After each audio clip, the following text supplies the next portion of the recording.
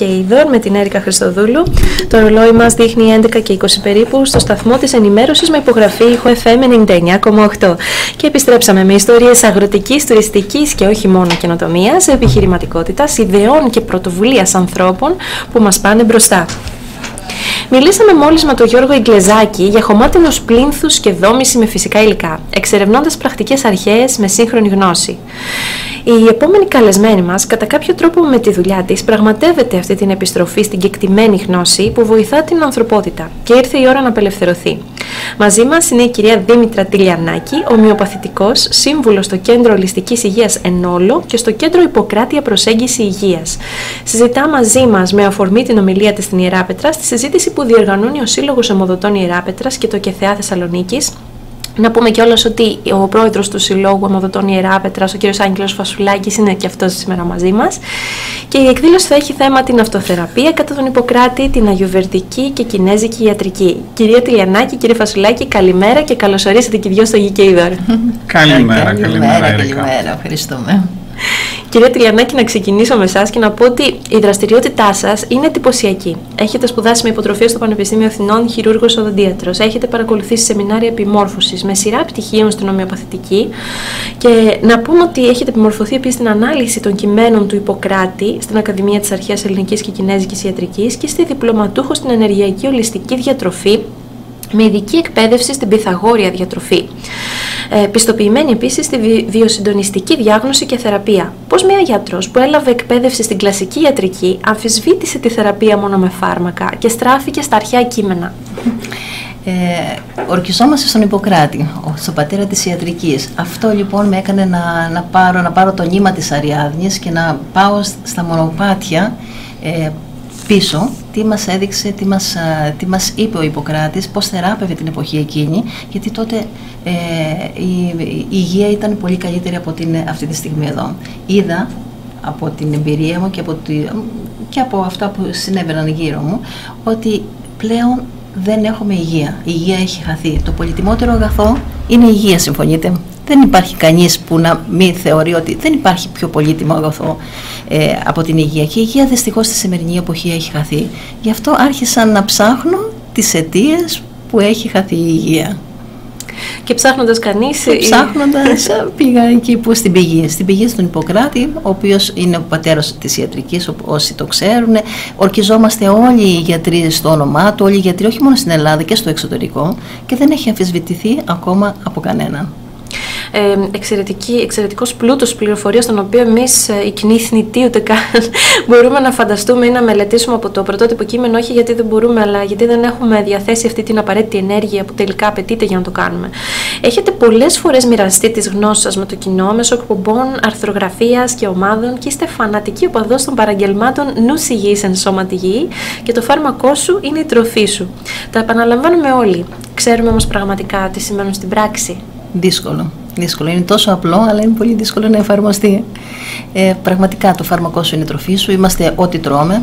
Νους υγιής, σαν σώμα υγιή. Όλοι τα ξέρουμε, αλλά μπορούμε να τα κάνουμε, να τα εφαρμόσουμε. Για να τα εφαρμόσουμε πρέπει να έχουμε θέληση, αγάπη στον εαυτό μας και ένα σκοπό.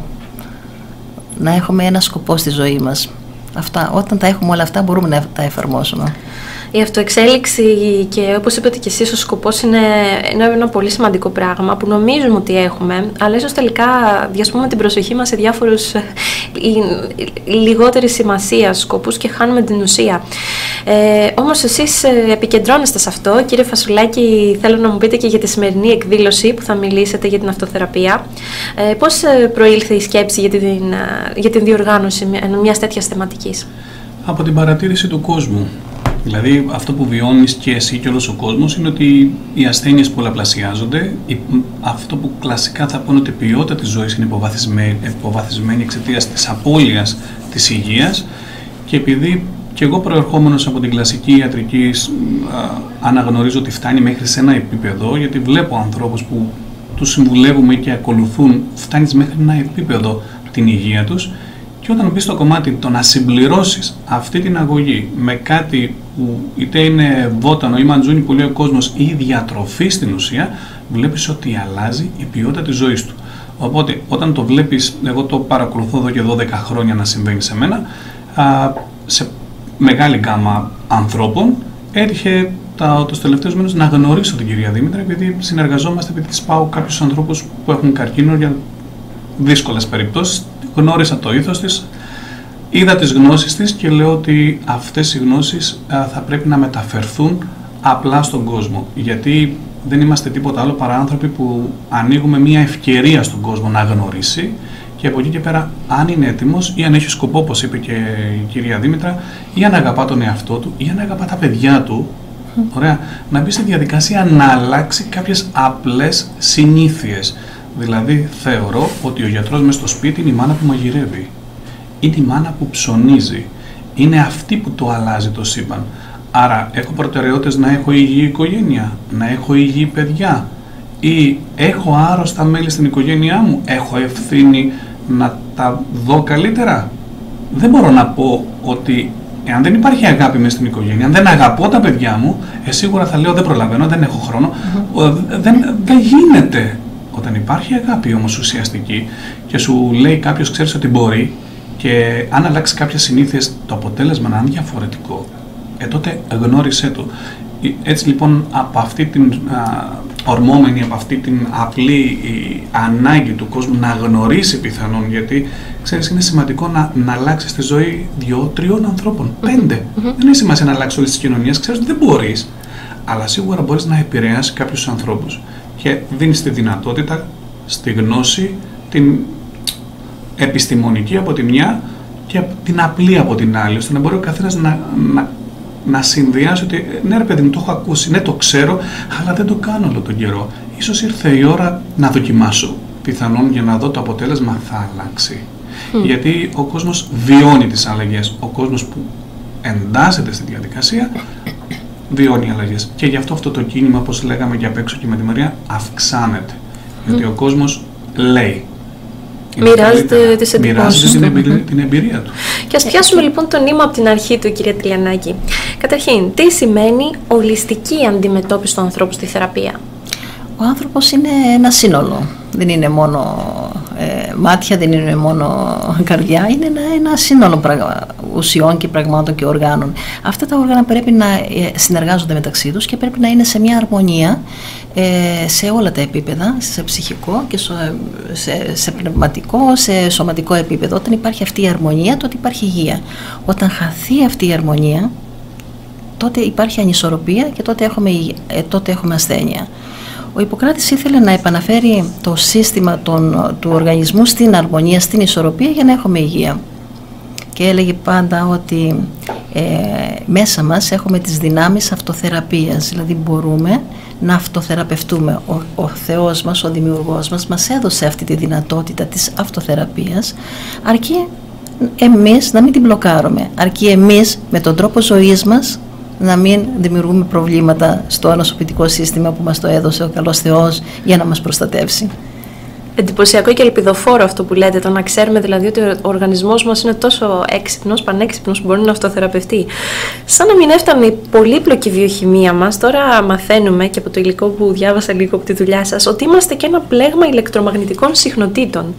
Πώς ένας άνθρωπος μπορεί να βιώσει την επίδραση των θεραπευτικών μεθόδων και να συνεργαστεί με το θεραπευτή του στην επίλυση των προβλημάτων που τον απασχολούν; Είναι η μορφή θεραπείας αυτή; Που, που εισάγετε και εσείς και οι συνεργάτες σας.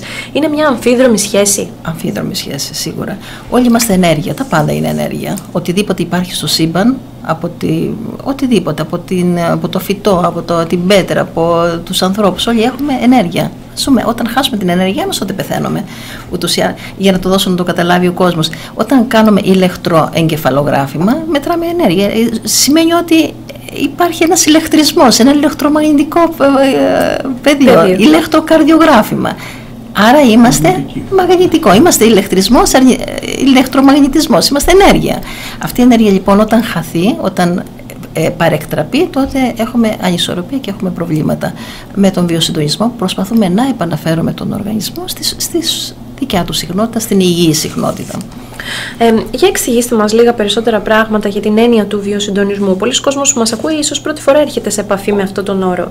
Ε, τις συχνότητες, την κβαντική θεραπεία, mm-hmm. έννοιες που τις ακούμε αλλά ίσως δεν κατανοούμε όλοι απόλυτα. Mm-hmm. Είναι δύσκολο να το κατανοήσουμε. Απλώς σας λέω ότι όταν, α, όταν υπάρχει, στο στρατό ας πούμε, mm-hmm. όταν πηγαίναν οι φαντάροι πάνω σε μία γέφυρα, τους έλεγαν ε, να μην πηγαίνουν με βήμα σημειωτών, αλλά ελεύθερο βήμα, συμφωνείτε ναι, για να μην για να μην, γιατί η ταλάντωση της γέφυρας, αν συμπίψει, αν η, ταλάντωση, η γέφυρα έχει μια δικιά της ταλάντωση, μια δικιά της ιδιοσυχνότητα.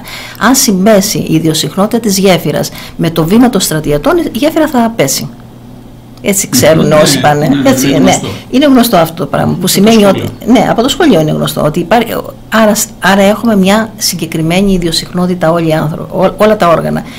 Αυτή η συχνότητα λοιπόν μετριέται με το μηχάνημα του βιοσυντονισμού και ξέρουμε ότι ε, λέμε ότι η συχνότητα ας πούμε, του στομαχιού, λέω ένα παράδειγμα για να το καταλάβει ο κόσμος, πρέπει να έχει μια 7,8 λέω, ένα, ένα νούμερο λέω τυχαίο.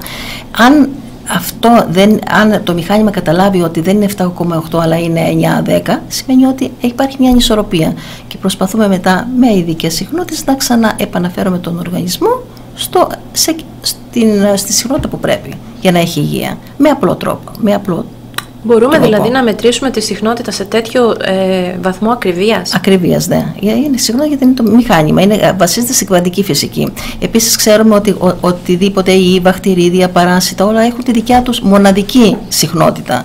Εάν το μηχάνημα την ανακαλύψει, καταλαβαίνουμε ότι αυτός είναι στρεπτόκοκος, αυτή είναι κάντιτα, αυτός είναι σταφυλόκοκος επειδή έχουν συγκεκριμένη και μοναδική συχνότητα. Και πάλι με συχνότητα μπορεί να καταστραφεί.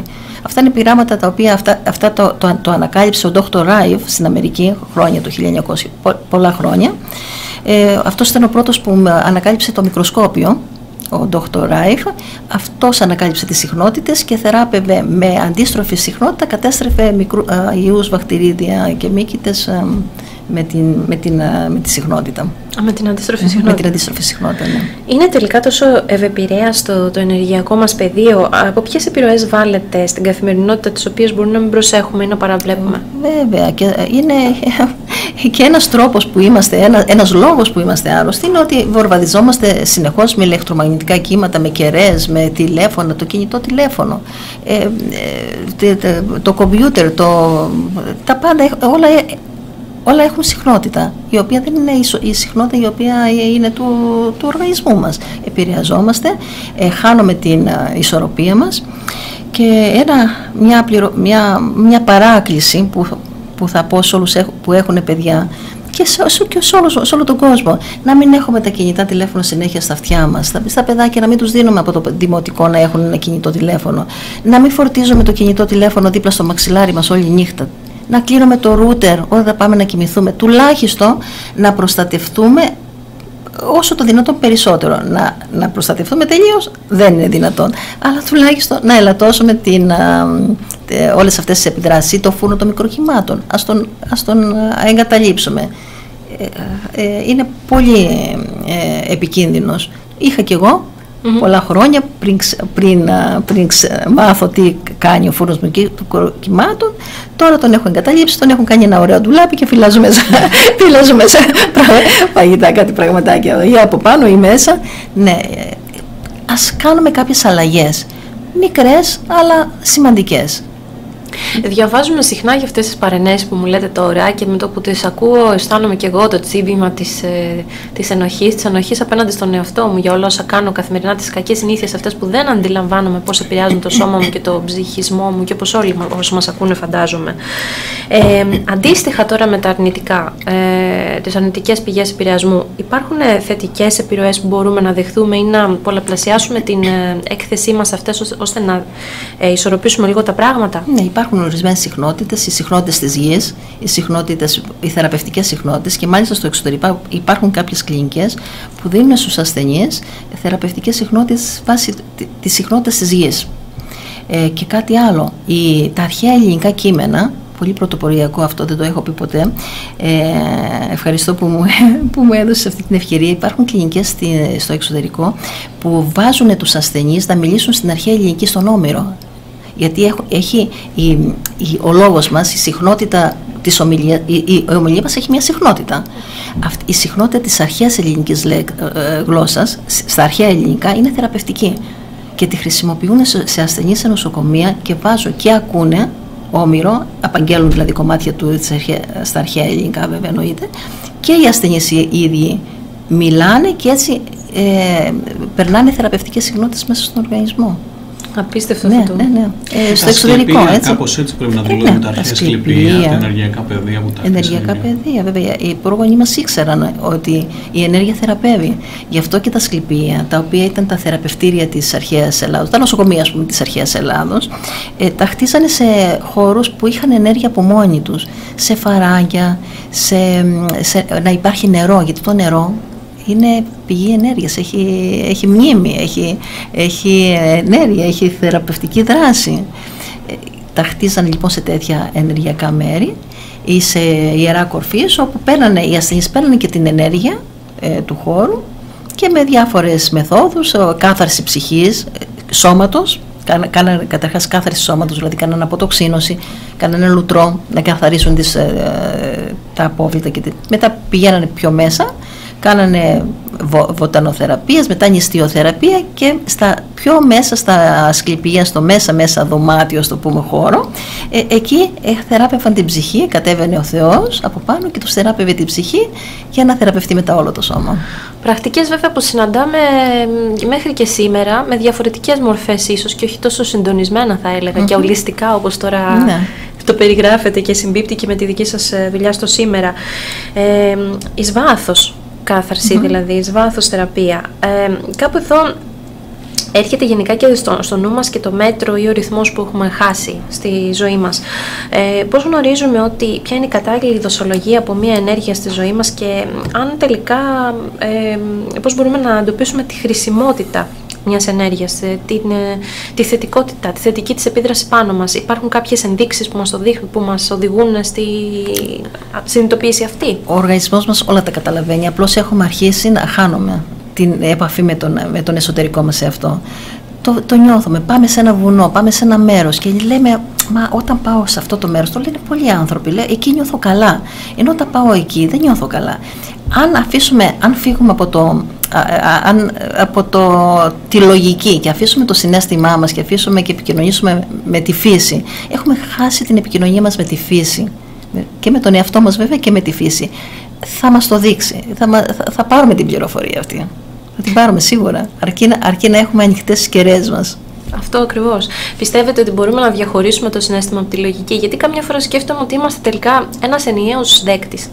Πολλές φορές. Όλα είναι ένα, όλα είναι ένα. Αλλά τώρα έχουμε, σε αυτήν την εποχή έχουμε περισσότερο το, τη λογική βάλει και έχουμε αφήσει το συνέστημα και τη διάστηση. Την οποία διάστηση έχουν τα ζώα, εμείς την έχουμε χάσει. Ε, πώς συνδέονται τώρα όλα, όλα αυτά που συζητάμε για το βιοσυντονισμό και τις συχνότητες με την ε, ομοιοπαθητική; Η ομοιοπαθητική σαν πρακτική Η ομοιοπαθητική ε, και αυτή πάλι όμοια ομοίως θεραπεύει έλεγε ο Πιοκράτης. Ε, μετά στον, ε, το 1870 κάτι ένας Γερμανός γιατρός ο Δόκτωρ Χάνεμαν είδε, έχασε το γιο του και είδε ότι δεν έφτανε μόνο αυτά που ήξερε σαν κλασικός γιατρός και άρχισε να ψάχνει τα αρχαία συγγράμματα και αυτός και δημιούργησε την ομοιοπαθητική. Η ομοιοπαθητική είναι μια κίνδυνη με προσέγγιση, μια κίνδυνη θεραπεία. Μπορούν να την πάρουν από έγκυοι παιδιά που ξέρετε οι έγκυες δεν μπορούν να πάρουν χημικά φάρμακα διότι είναι, είναι ενέργεια, του, ε, ενέργεια του βοτάνου, ε, δεν είναι ουσία. Δεν είναι ουσία για να έχει παρενέργειες και αυτή η ενέργεια ε, ξεκλειδώνει ξεκλειδώνει, τα, δίνει την πληροφορία στον οργανισμό ο ίδιος ο οργανισμός να θεραπευτεί, αν έχει τη δυνατότητα και δεν έχει, αν έχει τη δυνατότητα ο οργανισμός να, να αυτοθεραπευτεί. Έτσι λειτουργεί. Δίνουμε πληροφορία με το μεμοποθετικό φάρμακο στον οργανισμό, ο οργανισμός μόνος του να κάνει τη δουλειά.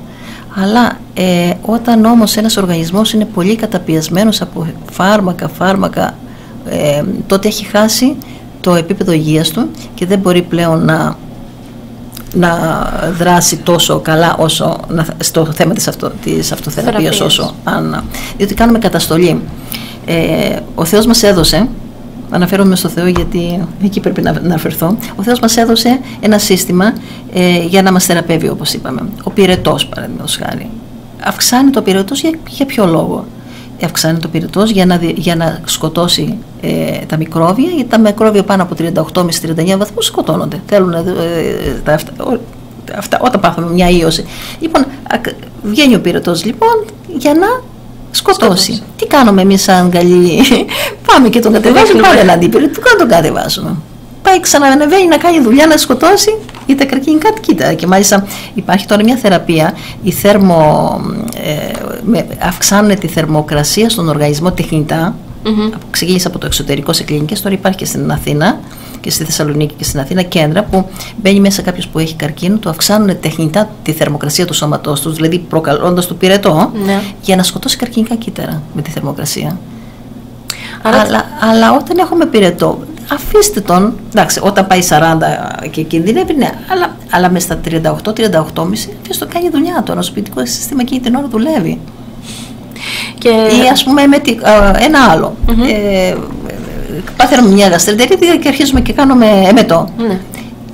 Πρέπει να γίνει ο μετός, να φύγει, γιατί υπάρχει μια μόλις, υπάρχουν μικρόβια, παίρνουμε και τι κάνουμε σαν γιατροί καλοί, πάρε ένα αντιεμετικό. Έχουμε διάρκεια, που η διάρκεια είναι μια σημαίνει ότι κάτι μέσα στο, στην κοιλιά μας, στο έντερό μας είναι κάτι κακό. Ο οργανισμός προσπαθεί με τη διάρκεια να βγάλει έξω τοξίνες, να βγάλει έξω μικρόβια, να βγάλει έξω την αρρώστια. Και τι κάνουμε, να πάρει ένα διαρροϊκό mm-hmm. για να σταματήσει η διάρκεια. Και μένει μέσα η διάρκεια, μένουν μέσα τα, τα, τα μικρόβια και κάποια στιγμή αργότερα κάνει, ε, ένα, κάνει μια χρόνια νόσο και πάει και χτυπάει κάπου αλλού. Εστιάζουμε δηλαδή στην, ε, στην αντιμετώπιση των συμπτωμάτων και την καταστολή τους αντί στη ρίζα του προβλήματος. Ε. Η ρίζα του προβλήματος πρέπει να αντιμετωπιστεί. Ποια είναι η αιτία; Ναι. όχι την αιτία.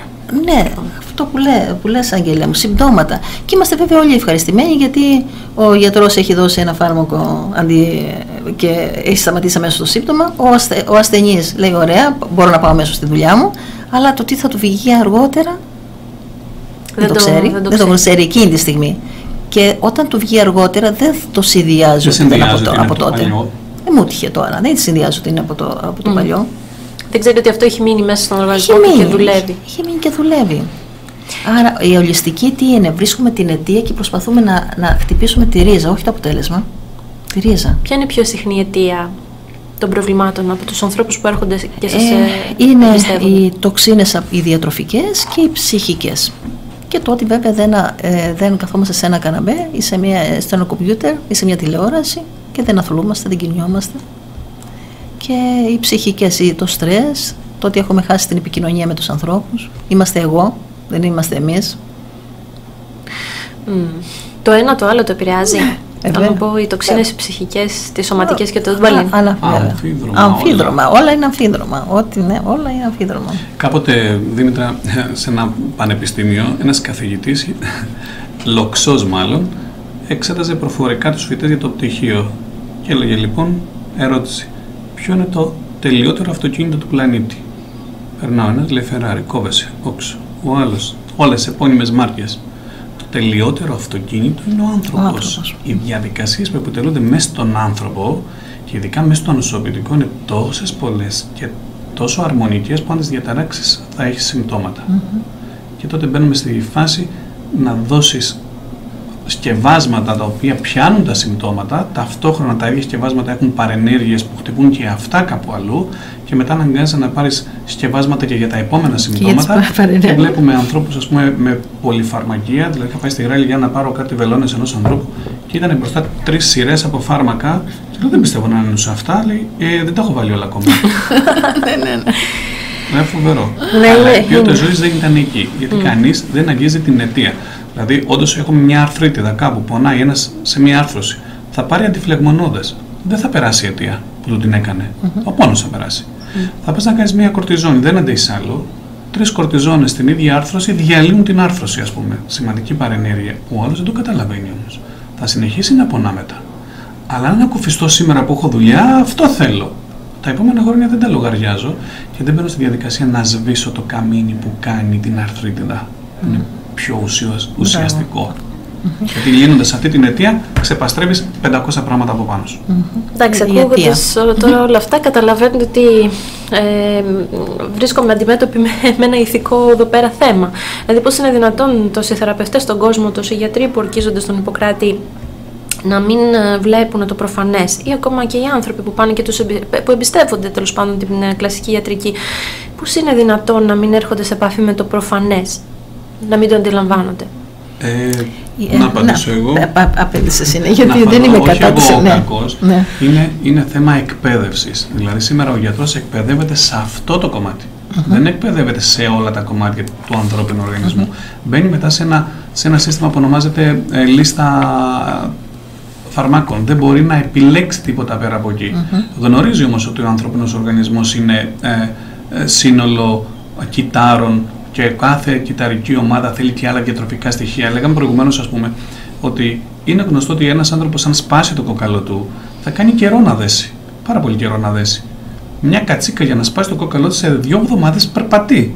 Γιατί, γιατί αυτό που ξέρουμε κι εμείς ότι ο οργανισμός θέλει ασβέστιο, φόσφορο, μαγνήσιο, μαγκάνιο και πυρίτιο για να το φτιάξει γρήγορα. Εμείς δεν παίρνουμε τίποτα από αυτά από τη διατροφή μας και συμπληρωματικά ένα γιατρό θα σου δώσει ασβέστιο. Ασβέστιο μόνο. Ωραία. Και βλέπεις ότι η οστεοπόρωση θερίζει. Mm-hmm. Αλλά άνθρωπος δεν ασχολείται με τη διατροφή του ανθρώπου αυτού. Άνθρωπος δεν ασχολείται με το έντερο αυτού που δεν απορροφά. Δηλαδή, ένα παραδειγματάκι που το αντιμετωπίζω συνέχεια. Τώρα έχω μια κοπελιά ίδιο από τη Ρόδο. Ε, είναι δυνατόν να βλέπεις χαμηλός σίδηρος στις εξετάσεις σου να παίρνεις συμπληρώματα σιδήρου και να μην ανεβάζεις ποτέ. Και αυτή η κοπελιά αναγκάζει τον κάνει ενδοφλέβεια. Ωραία. Εγώ ρωτώ, εάν το έντερό της δεν μπορεί να απορροφήσει το σίδηρο που τον δίνεις, μπορεί να απορροφήσει τη βιταμίνη B, μπορεί το ψευδάργυρο, μπορεί το χαλκό, μπορεί το πυρίτιο ή μήπως έχω ένα θέμα μεταβολισμού. Και η κοπελιά δεν θα λύσει το πρόβλημά της με το σίδηρο. Πρέπει να της λύσει το εντερο για να μπορεί από τη διατροφή να το απορροφήσει. Αυτό δεν ασχολείται η κλασική ιατρική ποτέ. Μα... Σπάνια κάνει τη σύνδεση. Αυτό είναι τώρα, το ολιστικό. Καταλάβεις ότι αυτή η ανεπάρκεια από πού ξεκινά, Μα... λύστο ναι, και αυτό ναι. που, που λέει τώρα ο Άγγελος θα το έλεγε ο Ιπποκράτης, ότι όλες οι ασθένειες προέρχονται από το έντερο. Όλες οι ασθένειες και προέρχονται δυσκυλιότητα, διάρκεια. Άρα συμφωνείς ότι η ιατρική το γνωρίζει αυτό. Όλοι οι γιατροί το γνωρίζουν. Το γνωρίζουν, αλλά δεν το συνδέουν. Δεν, δεν εκπαιδευόμαστε. Δεν εκπαιδευόμαστε σε αυτό το πράγμα. Ε, μας λείπει, λείπει εκπαίδευση στην ιατρική κοινότητα σε αυτό. Θα λέγα ότι υπάρχει τελικά. Ε, και με όλα αυτά που λέμε, ναι. να μην θεωρηθεί ο κόσμος ότι είμαστε ενάντια στην κλασική. Δεν είναι. Όχι, κλασική γιατρό. Δεν, δεν είναι. Δεν είναι ενάντια. Είναι συμπληρωματική. συμπληρωματική. Στην Αμερική υπάρχει ήδη η complementary συμπληρωματική ιατρική που είναι στα νοσοκομεία. Δηλαδή με, κάνουν οι γιατροί αυτά που πρέπει να κάνουν με τα φάρμακα και είναι και η, η, η, όχι, συμπληρωματική ναι. ας το πούμε mm-hmm. της ολιστικής προσέγγισης και, και βοηθάνε τον, τον ασθενή με τις ανάλογες θεραπείες. Με τις ανάλογες θεραπείες. Και τα δύο μαζί θα κάνανε θαύματα. Θαύματα και τα δύο μαζί. Τώρα και η Κινέζικη διεθνώς σαν ιατρική. Ναι. Και μάλιστα στο νοσοκομείο στο Πεπαγίνη νομίζω κάτι, υπάρχει κάτι. Βελο... Υπάρχει ομοιοπαθητική σε. Βελο... Ναι. Ε, και βελονιστικό. Ναι, ναι. ναι, ναι. Να μιλήσω λίγο για αυτό το κομμάτι. Να πούμε ότι ε, η Αγιουβέρδα λέει κάτι που απαντάται ε, κοινό σε πολλές θρησκείες όπως και στη δική μας, την Ορθόδοξη πίστη, με πολλούς διαφορετικούς τρόπους. Είμαστε το σύμπαν που υπάρχει μέσα μας και εμείς μέσα σε αυτό. Είμαστε φτιαγμένοι, λέει ο Χριστός, κατ' εικόνα και ομοίωση του θεου Είμαστε ένα και το αυτό με διαφορετική μορφή. Και αφού μπορούμε να κινήσουμε με ελάχιστη πρόθεση τα δάχτυλα του ποδιού, γιατί να μην μπορούμε να ρυθμίσουμε το βιολογικό μας ρολόι, λέει ο Τίπακ Τσόπρα. Ε, ο Θεός φρόντισε για το κρινάκι του αγρού, πως είναι δυνατόν να μην φροντίσει για το αγαπημένο του δημιούργημα τον άνθρωπο, λέει ο Χριστός. Ναι, αυτό είναι. Αυτό είναι. Και για το νοσοποιητικό ναι, δεν είναι δυνατόν να σε άφηνε εκτεθειμένος στις αρρώστιες. Δηλαδή, μας έφερε εδώ στον κόσμο να μας αφήσει εκτεθειμένος τόσο άκραδο είναι αυτό ο, ο Θεός μας. Δεν είναι δυνατόν να είναι. Απλά ναι, εμείς επεμβαίνουμε. Εμείς επεμβαίνουμε. Εμείς είμαστε μεγαλύτεροι εχθροί του εαυτού μας από ό,τι καταλαβαίνω. Είναι αυτό. πράγματι δυνατόν να καταλάβουμε τη θέση μας και δύναμή μας μέσα στο σύμπαν και να αποκτήσουμε τέτοια συνέστηση των τόσο περίπλοκων σωματικών μας λειτουργιών από μόνοι μα. Αφού την έχουμε την πληροφορία, αφού είμαστε μικροί θεοί, αφού είμαστε κομμάτι του Θεού. Γνωστικά, του σύμπαντος. Γνωστικά όμως, κυρία Μα... Χρειάζεται κάποιος να σε mm. παρακινήσει και να σου δείξει το δρόμο στην ουσία. Ναι, όταν, όταν, το δεις, το, όταν το, σε παρακινήσει κάποιος, θα τον βρεις στο δρόμο. Σίγουρα. Ας πούμε, σίγουρα. Κυρία Δήμητρα, πεφωτισμένη ήταν από την αρχή. Όχι, κάτι έγινε στην πορεία και ναι. το ψάξε, το είδε, mm-hmm. το αναγνώρισε, το δέχτηκε και πλέον το μεταφέρει. Mm-hmm. Υπάρχει, υπάρχουν όλα, όλα, όλα, όλα υπάρχουν υπάρχει μέσα μας, mm-hmm. απλά είναι σε ύφεση, κοιμάται και κάποιος είναι να σου δώσει τη σπίθα να ξυπνήσεις, όπως και η πίστη. Πάντα υπάρχει σε σπίθα. Αν γίνει φλόγα, κάνεις θαύματα, ναι ή όχι; Ναι. ναι. Ε, το ίδιο γίνεται και εδώ. Είχα μέσα στο βιβλίο μου αυτό της αυτοθεραπείας έχω έναν ο οποίος έχει σκλήρης καταπλάκωση και, έχω πάρει, και έχει γράψει μέσα την πληροφορία του ε, ε, ο οποίος ε, ήταν ακίνητος στο κρεβάτι κάποια στιγμή αποφάσισε λοιπόν να πάρει τη ζωή στα χέρια του πέταξε όλα φάρμακα γράφει τι έκανε, πήρε ένα ποδήλατο και άρχισε να σιγά σιγά να, μέσα στο σπίτι. Τώρα είναι, ε, τρέχει 250 χιλιόμετρα με το ποδήλατο, είναι μαραθωνοδρόμος. Ε, ήταν πρόεδρος και ο Σύλλογος Σκλήρης Καταπλάκας και τι λέει, ε, μου το θυμήσατε με αυτό που είπατε προηγουμένως, ότι ο Θεός μας έχει, ε, όταν θέλουμε μπορούμε ακόμα και το βουνό απέναντι να το μετακινήσουμε. Έχουμε αυτή τη δυνατότητα και μας την έχει δώσει ο Θεός και το γράφεις σαν μέσα στο βιβλίο. Κατάληξη, ναι, ναι. Σαν κατάληξη. Έχουμε τη δυνατότητα ακόμα λέει και το βουνό απέναντι να μετακινήσουμε. Γιατί αυτό μας το έχει δώσει χάρισμα ο Θεός. Και εκείνος ο άνθρωπος δεν δε, στάθηκε στο εμπόδιο που του έβαλε η δική του στάση ζωής και ο οργανισμός του, αλλά προσπάθησε να αναπτύξει περισσότερο τις δυνάμεις του και να το ξεπεράσει. Ναι, άλλαξε αυτά που τον κάνανε να έχει αυτή τη σκλήρη καταπλάκα, τα άλλαξε και τώρα είναι μια χαρά άλλαξε κυρίως ζητήματα που έχουν να κάνουν με, όπως είπαμε προηγουμένως, με διαχείριση του σώματός μας, της διατροφής μας, της υγείας μας, mm. άλλαξε εσωτερικά ε, ψυχικές ε, διαδικασίες. Ναι, ε, άλλαξε ε, δεν στενοχωριέται πλέον για πράγματα που τον στενοχωρούσαν τόσο εύκολα. Ε, τρώει σωστά, αθλείται, άλλαξε, άλλαξε στάση ζωής. Άρα μπορεί να αλλάξει ο άνθρωπος τελικά. Ε, βέβαια. Έχει τη δυνατότητα να Αν και τα θέλουμε. Και εγώ θα σταθώ τώρα λίγο και σε αυτό, γιατί έχουμε ένα μεγάλο πλούτο πολιτισμικό από την Ανατολή. Ποια είναι η πρακτική φιλοσοφία της Αγιουβερδικής και της Κινέζικης ιατρικής για την ολιστική ίαση. Διαβάζουμε και ακούμε για βελονισμό, θεραπευτικά βότανα και εδώ ακόμα φυσικά για διατροφή. Ε, ποια, ποια είναι η συμβολή της Ανατολής σε αυτό το κομμάτι; Όλα είναι ένα. Όλα ξεκίνησαν από το Ιπποκράτη, Αγιουβερδική, Κινέζικη ιατρική, Ιουνάνια ιατρική, όλα είναι ένα. Με την ίδια λογική ε, θεωρούν τον άνθρωπο σαν, ε, σαν ενιαίο σύνολο, πώς επηρεάζεται από, την, ε, από τις εποχές, από, τα, από, τις, από τη ζωή μας γενικά. Είναι αυτό που είπα προηγουμένως, ότι πάντα όλα είναι μια ισορροπία. Αν φύγουμε από τη ισορροπία, ανισορροπία ίσον αρρώσια. η διαφορά και, οι, οι Κινέζοι λένε για τους μεσηβρινούς ότι έχουμε μέσα με, ε, οι μεσηβρινοί είναι κανάλια ενέργειας και όταν αυτά τα κανάλια ενέργειας είναι μπλοκαρισμένα με τοξίνες είμαστε άρρωστοι και προσπαθούμε με, με διάφορες θεραπείες να φύγουν οι τοξίνες αυτές από, τους, από, του, από, από τα κανάλια αυτά της ενέργειας, τους μεσηβρινούς. Είναι ένα όλα. Αυτό το λένε δηλαδή με έναν άλλο τρόπο. Ναι, με άλλο τρόπο. Ναι, άλλο τρόπο. Ε, διάγουμε τώρα, μάλιστα, μιλώντας για διατροφή, μιλώντας για τοξίνες, ε, να πούμε ότι διάγουμε μια περίοδο νηστείας που εκκινεί μια τεράστια συζήτηση για την αποτοξίνωση, την οποία ακούμε διαρκώς ε, και χρησιμοποιείται και από διάφορους φορείς, είτε εμπορικούς, είτε μη, είτε εκπαιδευτικούς. Εύλογα θα αναρωτηθεί κανείς, ειδικά εδώ στην επαρχία, μα εμείς τρεφόμασταν πάντα με αγνά προϊόντα από τα χωράφια μας και από τα δικά μας ζώα.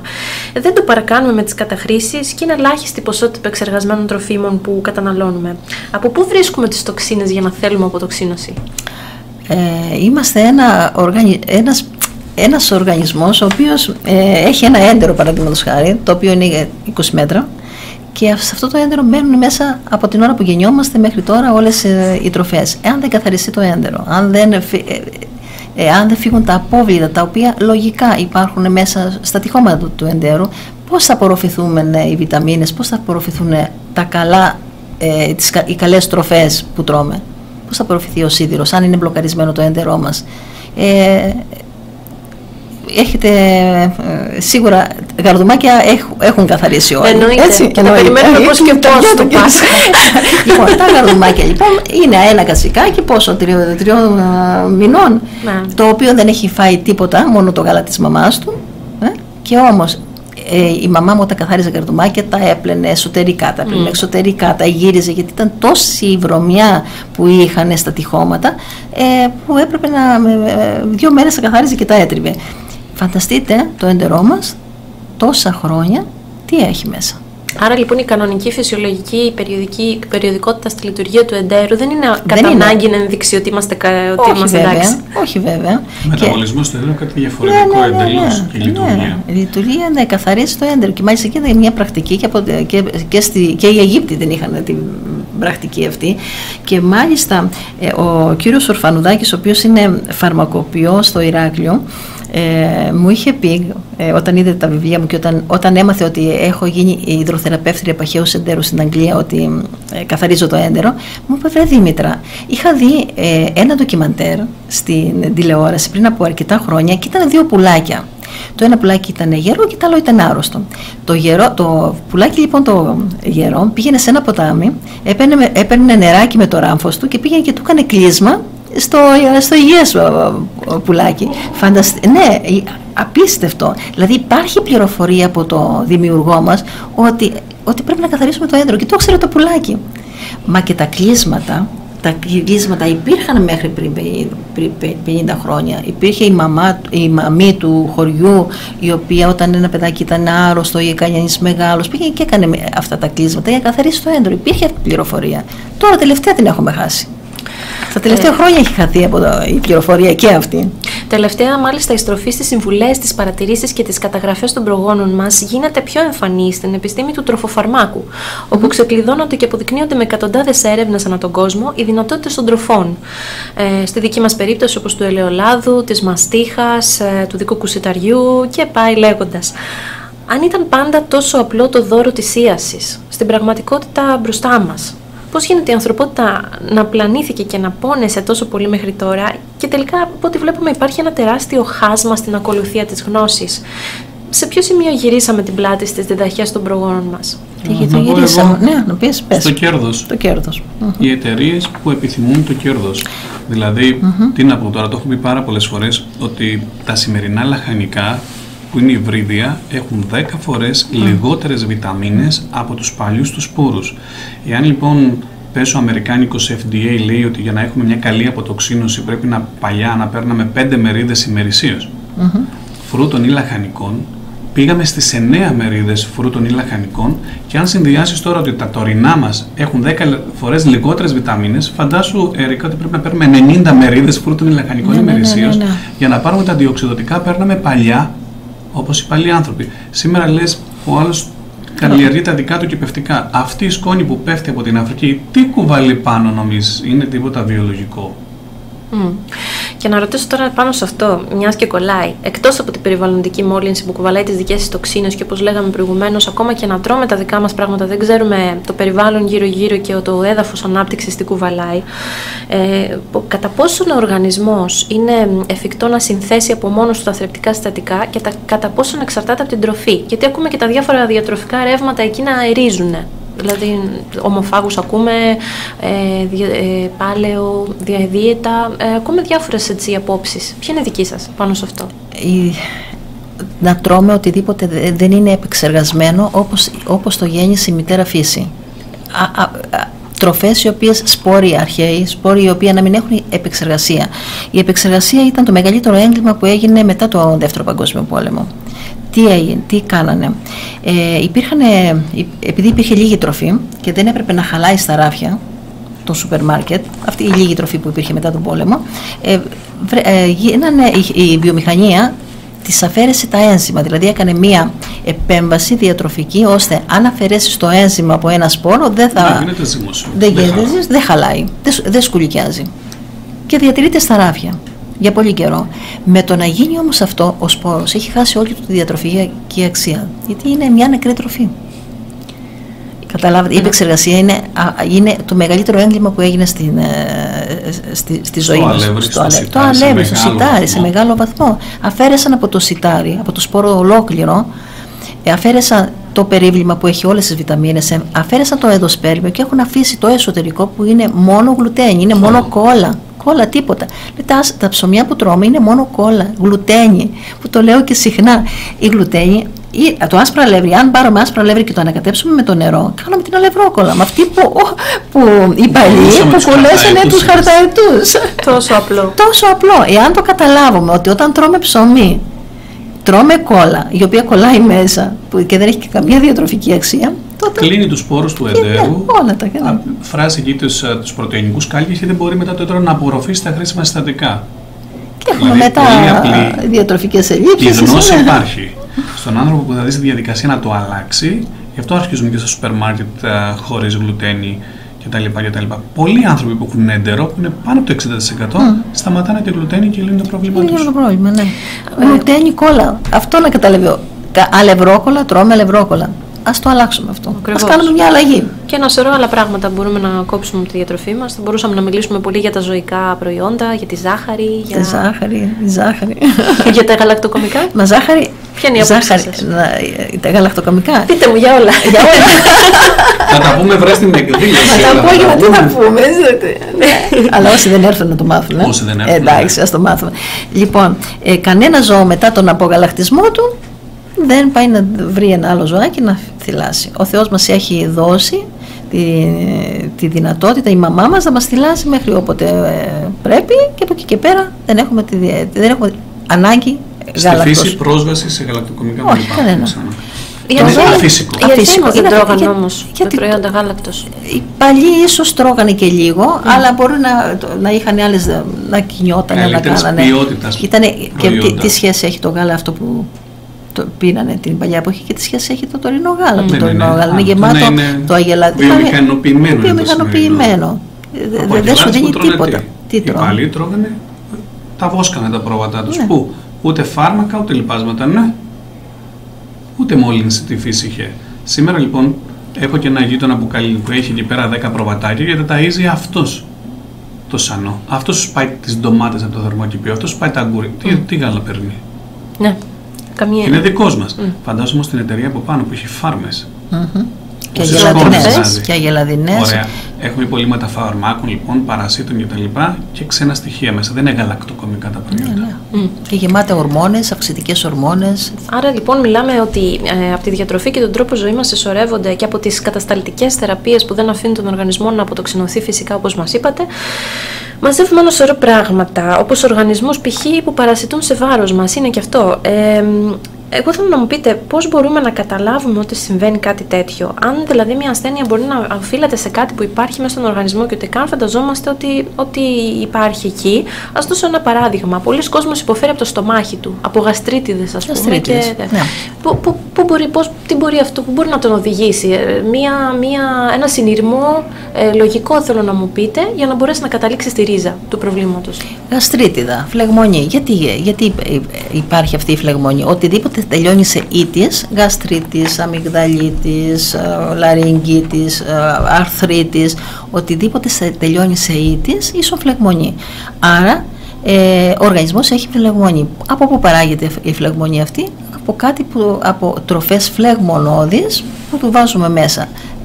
Με, αλλάζουμε τις φλεγμονώδεις τροφές με αντιφλεγμονώδεις διορθώνουμε και το lifestyle μας και λύνεται το πρόβλημα. Και βοη- χρησιμοποιούμε και τα εργαλεία του, εκεί βοηθάνε τα εργαλεία του βιοσυντονισμού, ναι, ας πούμε. ναι, ναι, εκεί βοηθάει σίγουρα. Ε, ή το έντερό μας. Το έντερό μας μας προειδοποιεί όταν έχουμε δυσκολιότητα, όταν, δεν- όταν δεν πηγαίνουμε καθημερινά τουαλέτα.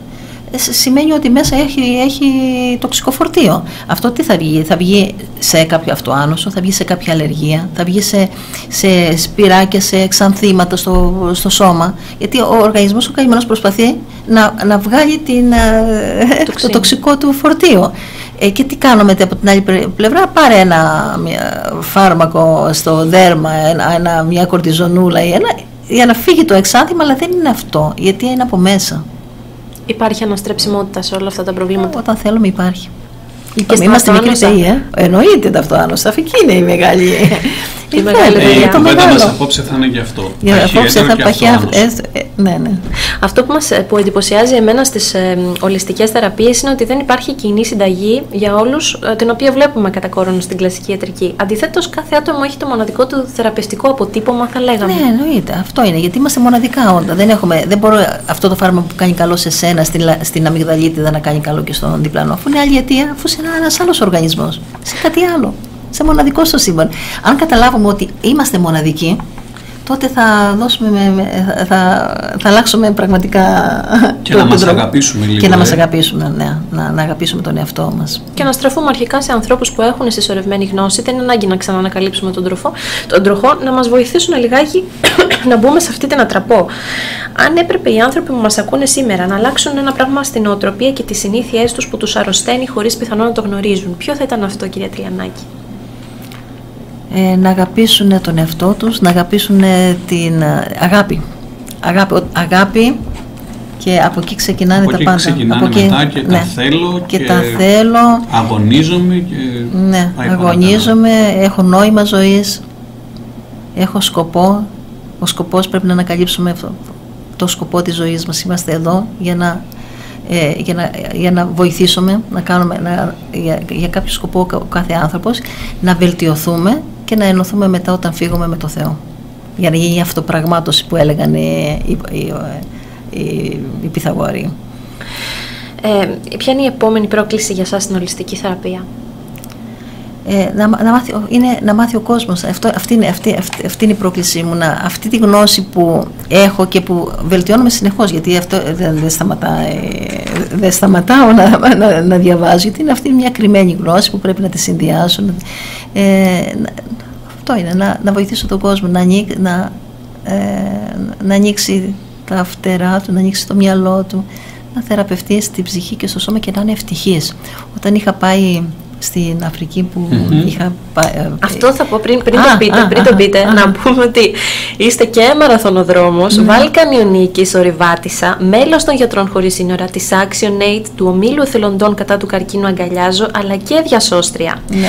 Τη στιγμή που οι περισσότεροι άνθρωποι με τα βίας έχουν ενέργεια για την καθημερινή τους εργασία, την οικογένειά τους, άντε κάποιο χόμπι το πολύ. Όλα αυτά ακούγονται εξωπραγματικά στους κοινούς νητούς εμάς. Ποιο είναι το κλειδί για να ξεκλειδώσει ο άνθρωπος τις αναρρύθμιτες δυνατότητές του. Το θέλω, το θέλω γιατί ε, εγώ δεν έχω τη δυνατότητα σαν, σαν οργανισμός, δεν ήμουν ούτε από τους ε, αμαραθωνοδρόμους τους που έχουν δύναμη. Ξεκίνησα από, ε, έχω πλατυποδία καταρχάς. Στο σχολείο με είχαν βγάλει ε, από τη γυμναστική διότι δεν, δεν έπρεπε να μια γυμνάστρια στο, όταν ήμουν στο, στο, στο, γυμνάσιο. Αυτό λοιπόν ε, με στενοχώρησε τόσο πολύ και είπα στον εαυτό μου, υποσχέθηκα, λέω, όχι μόνο θα, θα, ε, θα ξεφύγω από την πλατυποδία και από την αναπηρία, το πούμε, γιατί όταν, είσαι, όταν έχεις αυτό το σοβαρό πρόβλημα δεν μπορείς να περπατήσεις, δεν μπορείς να αναθληθείς και προσπάθησα, λέω όχι, θα τα καταφέρω. Και σιγά σιγά προσπαθούσα, περπατούσα, έτρεχα, μέχρι σε ένα σημείο να φτάσω να είναι με μαραθωνοδρόμος, να έχω Βαλκανιονίκης, να έχω φέρει χρυσά στην, στην, ε, στην Ελλάδα. Πώς με θέλησε όμως, όχι με αντοχή. Δεν ήταν η αντοχή, με αντοχή δεν έχω σαν άτομο. Έχω θέλησε όμως. Θέλησε να, να, να, πάω παραπέρα. να πάω παραπέρα. Και οι αντικειμενικές, ας πούμε, κατασκευαστικές δυσκολίες του σώματος, τι έγινε, Ανταποκρίθηκε το σώμα; Ναι, γιατί ε, κάθε φορά όταν τρέχω, ε, ε, λέω θα τα καταφέρω. Υπάρχει στόχος. Γίνεται. Ανταποκρίνεσαι. Ναι. Γίνεται. γίνεται. Και γίνεται, γίνεται. Όταν θέλουμε μπορούμε. Αυτό είναι. Ότι γίνεται. Έχουμε μέσα μας δύναμη μεγάλη. Ξεκινήσατε να μας λέτε για την Αφρική. Τελειώστε με αυτό που σας διακόψα τόσο Στην Αφρική το είχα να το συνδυάσω αυτό. Να πάμε με την Action Aid αποστολή και πολλές φορές έχω πάει για να βοηθήσω τα παιδάκια της Αφρικής εκεί ε, και έβλεπα τους ανθρώπους που δεν είχαν τίποτα, μα τίποτα, πιστέψτε με, μια χωμάτινη καλύβα με τίποτα μέσα και ήταν γελαστοί και γελούσαν και χορεύανε και ήταν ευτυχισμένοι και γυρνάω εδώ στην Ελλάδα και μόλις πατάω στο πόδι μου στο αεροδρόμιο, βλέπω αυτή την κατήφια, να έχουμε τα πάντα, να έχουμε αυτή την πολυτέλεια, να μπαίνω στο σπίτι, μπήκα στο σπίτι μέσα και είδα, λέω, μα τι τα θέλω όλα αυτά, μου είναι άχρηστα.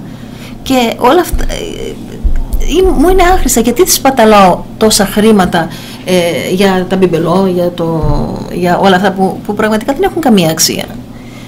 Και βλέπω, έβλεπα γύρω με ανθρώπους που ήταν δυστυχισμένοι να τρέχουν, να πληρώνουν τους λαγοριασμού. Εδώ έχουμε κάνει τη ζωή μας πάρα πολύ δύσκολη. Λάθος στόχος. Έχουμε, έχουμε πάει λάθος στόχο, έχουμε χάσει. Τη, τη, ναι, έχουμε, έχουμε φύγει από το μονοπάτι που έπρεπε να είμαστε. Παρασυρθήκαμε από διάφορα. Είναι το ρεύμα της εποχής και της κοινωνίας και το να ο νικητής θα κρυθεί αυτός που πάει κόντρα στο ρεύμα, κόντρα στον ποταμό. Αυτό είναι δύσκολο, αλλά είναι μια απόφαση όμως. Εγώ, εγώ θα έλεγα, Άγγελε, πάνω σε αυτό που λες ότι ο ποταμός μας πάει κάπου αλλού και όλοι μαζί προσπαθούμε να πάμε αντίστροφα. Ο νικητής ήταν αυτός που θα ακολουθήσει τη φύση, το φυσικό ρεύμα των πραγμάτων τελικά. Ίσως θα το δούμε και έτσι. Δηλαδή, από μια άποψη, το κακό που έκανε ο δυτικός πολιτισμός στην Αφρική, γιατί περί εγκλήματος πρόκειται στη συγκεκριμένη Ήπειρο, να μην κρυβόμαστε, ε, είναι σε αυτούς τους αντέστρεψε τα πράγματα για το καλό τους. Δηλαδή σε πολλές περιπτώσεις και από αυτά που μας λέτε ήρθαν σε επαφή με, με τη φύση, με τον εαυτό φύση. τους, με τις ρίζες τους ακόμα περισσότερο. Mm-hmm. Πόσο πολύ σημαντικό. Έμαθα να σέβομαι το νερό. Εκεί πεθαίνανε μπροστά μου στην πρώτη μου αποστολή, όχι την τελευταία, γιατί στην τελευταία πήγαμε την άξονα σε ένα, χώρο, σε ένα μέρος που υπήρχε νερό. Ε, στην Κένια στο, υπήρχαν περιοχές οι οποίες δεν είχαν καθόλου νερό. Τα παιδάκια πεθαίνανε μπροστά μου επειδή δεν είχαν μια γουλιά νερό να πιούνε. Και εμείς εδώ, όταν γύρισα, προσπάθησα όλα αυτά τα χρόνια να του πω ότι πρέπει να σεβόμαστε αυτό το αγαθό του, να, το, το, το, νερό. Εφέτο ευτυχώς μας λυπήθηκε ο Θεός και ναι. έβρεξε. Αλλά φανταστείτε να μην έβρεχε και φέτος ή να, ή να μην βρέξει για, για πέντε χρόνια. Τι θα γίνει; Mm. Ακριβώς. Τώρα να, να επανέλθω σε το κομμάτι που απασχολεί ίσως πολύ από το κοινό μας και να πούμε ότι μας μιλήσατε στην αρχή, μας είπατε δύο-τρία πραγματάκια. Εγώ θα ήθελα να μου δώσετε δύο-τρεις ακόμα επιπλέον συμβουλές για το κοινό που μας ακούει, ε, πώς μπορεί να προστατεύσει τον εαυτό του και τη συχνότητά του στην καθημερινότητα, καθώς και να μας πείτε τι υπηρεσίες μπορεί κανείς να συναντήσει στα κέντρα στα οποία είστε σύμβουλος υγείας ε, και πώς μπορεί να βοηθηθεί από την ολιστική ίαση ε, άμεσα. Μπορούν όλοι να απευθυνθούν στις, ε, υπηρεσίες των κέντρων σας; Μπορούν όλοι. Ε, ξαναγυρίζουμε στα παλιά. Ξαναγυρίζουμε στην αγνή φυσική ζωή, στην αγνή διατροφή, στον αγνινό τρόπο ζωής, πώς τρώγανε, πώς κοιμότανε, τι ώρες κοιμότανε, τι ώρες ε, τρώγανε, όλα τα έχουμε αλλάξει. Όλα τα έχουμε αλλάξει. Τι τρώγανε, αφού, μα, μα, μα ακούει αγροτικός πληθυσμός πιστεύω αυτή τη στιγμή. Τι ώρα, τι ώρα τρώγανε οι παππούδες μας, 12 η ώρα το μεσημέρι, και 6-7 η ώρα το απόγευμα.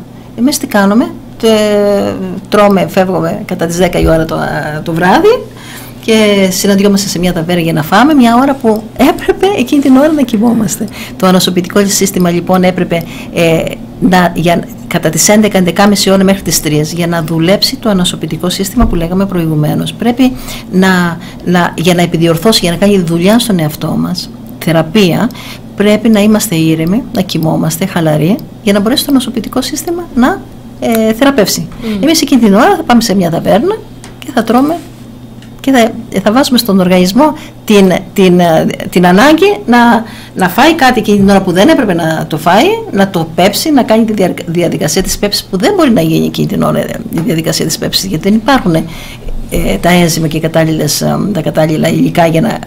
Οπότε το φαγητό δεν γίνεται πέψη δεν, δεν, δεν μπορεί να απορροφηθεί, μετά ε, θα μπει στο έντερο, άπεπτο, θα, γίνουν, θα πάνε τα μικρόβια εκεί πέρα, θα γίνει μια δυσβακτηρίωση στο έντερο και όλα τα επακόλουθα μετά που θα το βάλουμε σε δουλειά στην ώρα λοιπόν που έπρεπε να δουλεύει για να επανορθώσει πράγματα στο σώμα. Θα βάζουμε μια άλλη δουλειά. Mm. Θα μια άλλη δουλειά να κάνει. Άρα, όποιος είναι έτοιμος για ολιστική θεραπεία, να είναι ετοιμασμένος για μια θεραπεία σε βάθος που θα αγγίξει ακόμα και ε, διατροφικές και ψυχικές τοξίνες που κατοικοεδρεύουν στο σώμα του. Έτσι. Ακριβώς, ακριβώς. είναι πολύ σημαντικό αυτό και πρέπει ο θεραπευτής να είναι ένας άνθρωπος που να εμπνέει εμπιστοσύνη και να σας πω ότι εσείς όχι μόνο την εμπνέετε, αλλά έχετε γεμίσει το στούντιό μας με πάρα πολύ καλή ενέργεια.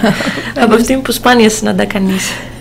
Μα πρώτα πρέπει να γίνουμε οι ίδιοι, ο, ο τρόπος ζωής ο δικός μας να γίνει παράδειγμα. Δεν μπορούμε σαν γιατροί να λέμε μην καπνίζεις ή μην τρως ή μην αθλείσαι και από την άλλη εμείς οι ίδιοι να μην το ε, κάνουμε αυτό στην προσωπική μας ζωή.